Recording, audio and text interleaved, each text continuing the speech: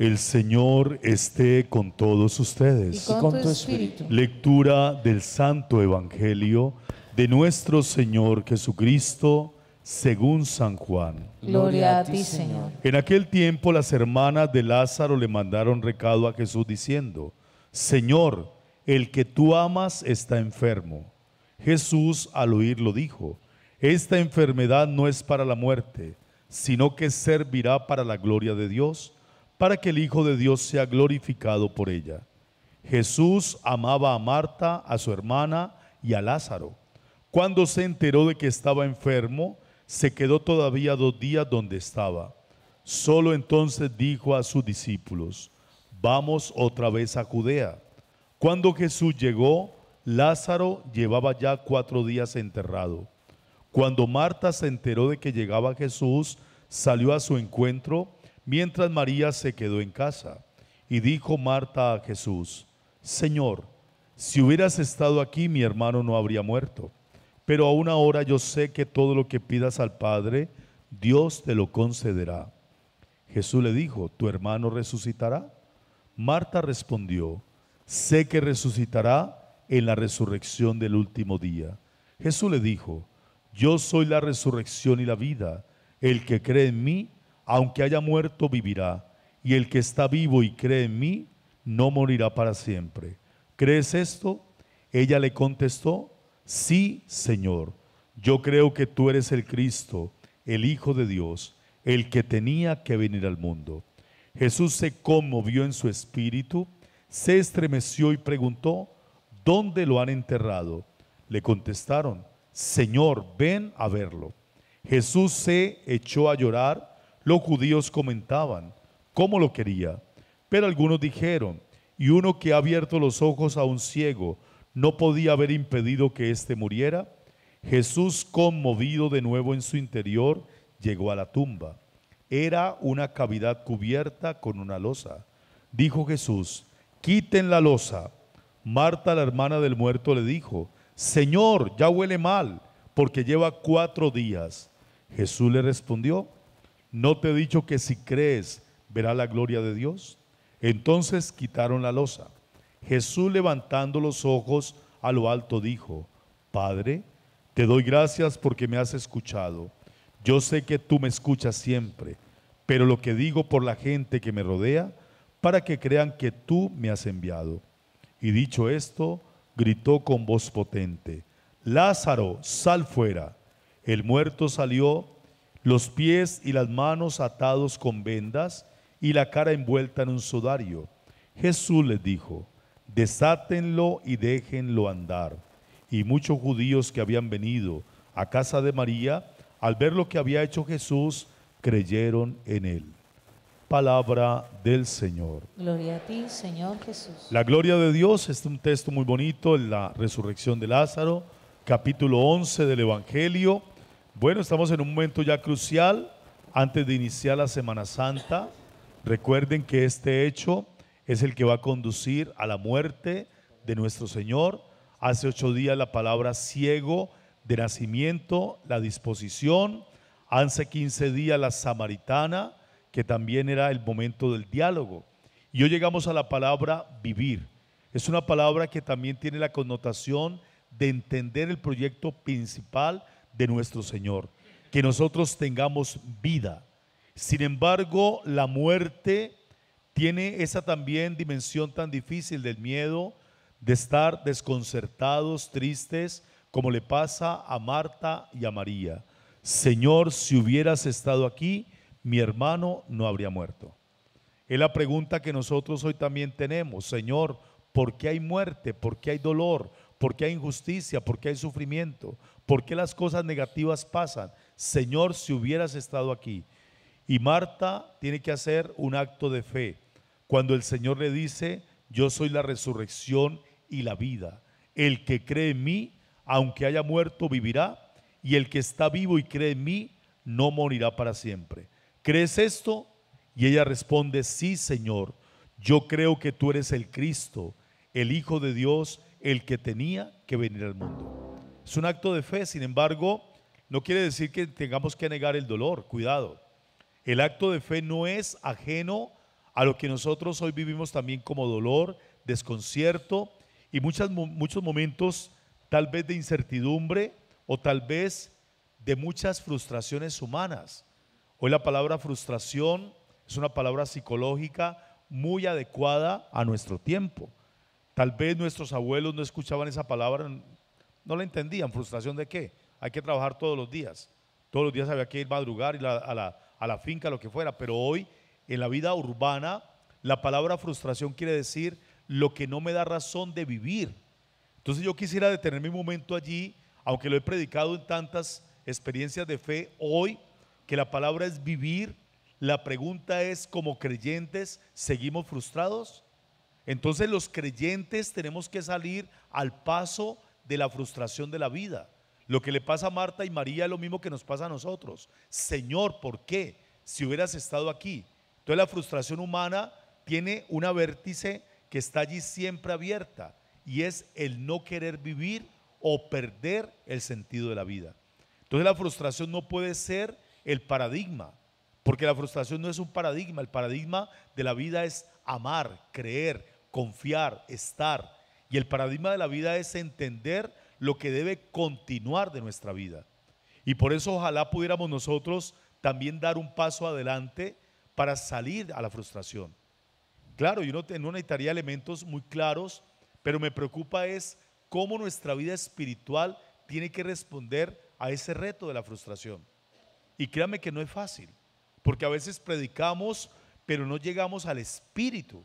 Necesitamos llegar al espíritu del creyente y del no creyente, porque es que la vida de frustración no es solamente para el mundo, es para el ser humano. Y nosotros, aunque seamos creyentes, tenemos momentos donde también sentimos ese vacío existencial y necesitamos entender la vida para salir de la podredumbre. Por eso el término cuatro días, lo que dice, Señor, es que ya está podrido, lleva cuatro días, o sea, huele mal. Entonces quiere decir que ya está en un estado de descomposición. Jesús no conoce la descomposición, porque Jesús resucita al tercer día para indicar la vida como un ciclo siempre en Dios que nos da la vida. Segundo elemento, dice que cuando llama a Lázaro sale con las vendas, que está envuelto en vendas. Jesús no sale envuelto. Cuando llegan los apóstoles a la tumba, encuentran las vendas, pero no ven el cuerpo, para indicar entonces que la vida santa en Cristo restablece una razón espiritual y existencial. Es muy importante porque nosotros podemos correr el riesgo de negar lo existencial y buscar solamente lo espiritual. El budismo profesa eso. Niegue su cuerpo y usted preocúpese por el espíritu. Los filósofos griegos lo mismo. La cárcel del alma es el cuerpo. Es lo que dice Platón. Entonces nuestro cuerpo es simplemente una cárcel. Hay que quitar el cuerpo y entender que el espíritu es lo importante. El cristianismo no profesa que el cuerpo sea malo ni que el cuerpo sea cárcel.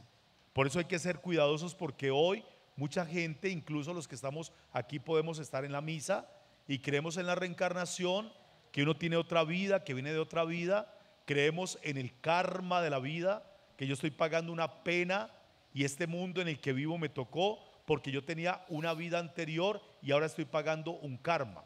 Entonces hay gente que cree en la reencarnación, cree en el karma, cree en el chakra, ponen espejos, ponen no sé qué cosa. Entonces entramos en un sincretismo que a veces se vuelve un esoterismo espiritual. Y está de moda el esoterismo espiritual.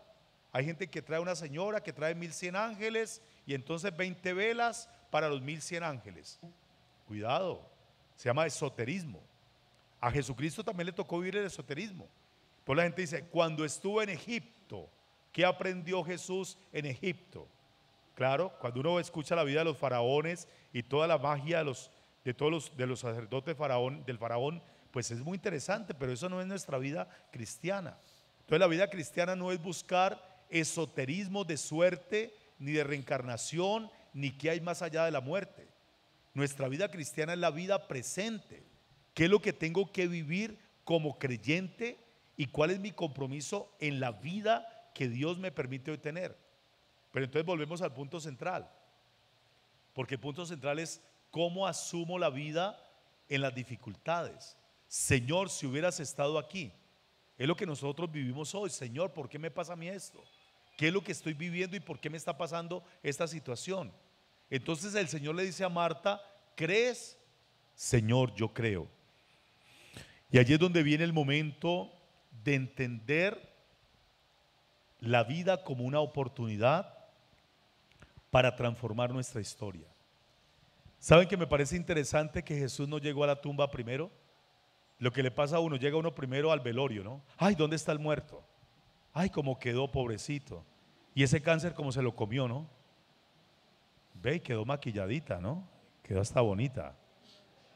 Y tan acabada que estaba. Jesús no llega al muerto. Somos nosotros los que llegamos al muerto. Jesús llega a las personas. Marta y María. Y lo digo porque es que a veces nosotros nos quedamos con el muerto. Entonces hay gente que 10 años lleva, te pido por el eterno descanso de mi mamá. Yo no he podido superar la muerte de mi mamá. Te pido por el eterno descanso de mi hijo. Yo no puedo superar la muerte de mi hijo. Te pido por el eterno descanso de mi suegra. Gracias a Dios se murió. Eh, perdón, no he podido superar. No he podido superar la muerte. Entonces hay gente que se queda con el muerto. Entonces 10, 20 años el muerto y los que siguieron, entonces ¿dónde están los vivos? La pregunta es qué pasó con los que siguieron. Entonces nosotros nos quedamos con el muerto, pero no hemos entendido que todavía hay personas que a lado. Entonces la pregunta no es el muerto, sino la vida. Pero uno lo escucha y vuelve y repite, oye, ay, sí, padre, ¿verdad? Y mañana otra ay, Señor, pero ¿por qué te llevaste a mi hijo? ¿Y qué pasó con los otros hijos? ¿Y qué pasó con el otro hermano? ¿Y qué pasó con la otra persona que sigue a tu lado? Entonces el problema no es que nos quedemos con el muerto. La pregunta es qué pasó con la vida de los que siguen a nuestro lado. Ese es el reto principal. La vida cristiana no es quedarnos con el muerto. La vida cristiana es entender qué sigue de la vida. Y por eso el Señor hace la pregunta, ¿crees? Sí, Señor, yo creo en la vida. Entonces, bueno, entonces hay que seguir adelante. Ese es el reto principal, que nosotros no nos quedemos solamente con el muerto, sino con la vida. Y por eso los discípulos de Maús van a estar tristes y cuando van de camino, ¿qué hace el Señor? Sale a su encuentro. En el discipulado uno tiene que encontrar las razones para vivir.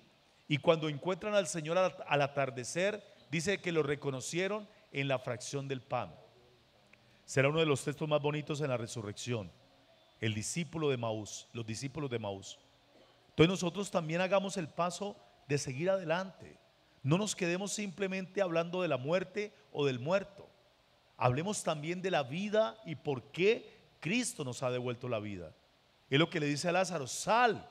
Y dice, muevan la piedra para indicar que es la palabra de fe la que nos permite mover la muerte. Hay que quitar la muerte.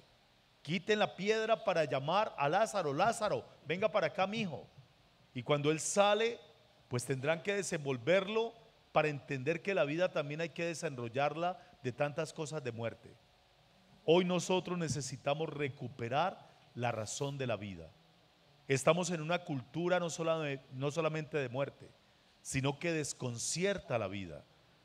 Y qué duro cuando los jóvenes no quieren vivir, cuando nuestros mayores quieren ya la eutanasia, cuando la gente en familia se hace daño, la violencia, qué pesar que todavía haya hombres que le peguen a las mujeres. Eso es duro y hay mujeres que también le pegan a los hombres, ¿no? Entonces, qué duro, porque la vida uno dice, pero la gente, ¿por qué es violenta? ¿Qué hay detrás de eso? Es agredir la vida. Nosotros no podemos agredir la vida. Tenemos que cuidar la vida, salvar la vida y sanar la vida. Hoy la palabra vivir podamos convertirla entonces en una razón de entender por qué el Señor vino a transformar nuestras vidas. Bella palabra la de San Pablo a los romanos. Los que están en la carne no pueden agradar a Dios, pero ustedes no están en la carne, sino en el Espíritu. Si es, si es que el Espíritu de Dios habita en ustedes, en cambio, si alguien no posee el Espíritu de Cristo, no es de Cristo. Pero si Cristo está en ustedes, el cuerpo está muerto por el pecado, pero el Espíritu vive por la justicia. Y si el Espíritu del que resucitó a Jesús de entre los muertos habita en ustedes, el que resucitó de entre los muertos a Cristo, Jesús, también dará vida a sus cuerpos mortales, por el mismo Espíritu que habita en ustedes. Entonces nosotros creemos en la vida material y espiritual. Es muy importante ese término, creer en la vida material y en la vida espiritual. Dios no nos manda a sufrir, ni nuestro cuerpo es cárcel del alma, ni nuestro cuerpo es el que peca, sino que nuestro espíritu vive siempre en la gloria de Dios. Creo en Dios Padre Todopoderoso, Creador del cielo y de la tierra. Creo en Jesucristo, su único Hijo, nuestro Señor, que fue concebido por obra y gracia del Espíritu Santo. Nació de Santa María la Virgen, padeció bajo el poder de Poncio Pilato, fue crucificado, muerto y sepultado, descendió a los infiernos, al tercer día resucitó de entre los muertos, subió a los cielos y está sentado a la derecha de Dios Padre Todopoderoso. Desde allí ha de venir a juzgar a los vivos y a los muertos. Creo en el Espíritu Santo, la Santa Iglesia Católica, la comunión de los santos, el perdón de los pecados, la resurrección de la carne y la vida eterna. Amén. Acaba de invitar el Papa a todos los creyentes a defender la vida en todas sus formas. Que todos trabajemos por la vida. Y hoy la palabra vivir nos indica también lo que Cristo le pregunta a Marta. ¿Crees? Sí, Señor, yo creo que tú eres el camino, la verdad y la vida. Pueden sentarse, por favor.